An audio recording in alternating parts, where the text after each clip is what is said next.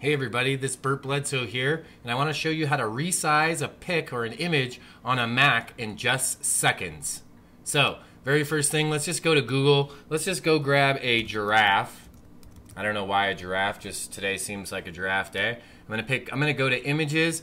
I'm just gonna save this goofy picture here. You can see it's a 19 by 20 by 1080 image. I'm gonna save that image as. I'm gonna save it right here into uh, my pictures. I'm going to actually save it into, let's say, my pictures in a miscellaneous picture here. So we'll put it in a miscellaneous. We'll call it giraffe.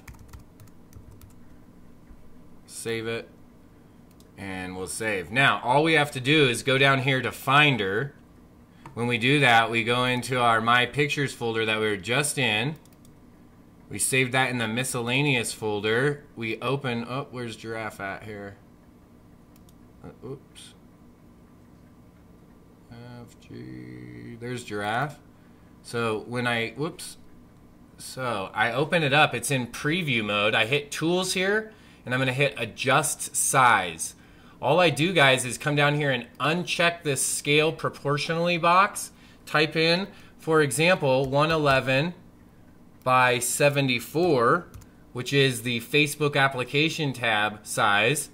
And I click OK. Boom, you see that the image was saved. It's just that easy. I close it, and that image is now saved as a 111 by 74. I could then move it into a folder that I have specially made for those images, and that's it. That's how you resize an image on a Mac in just literally seconds.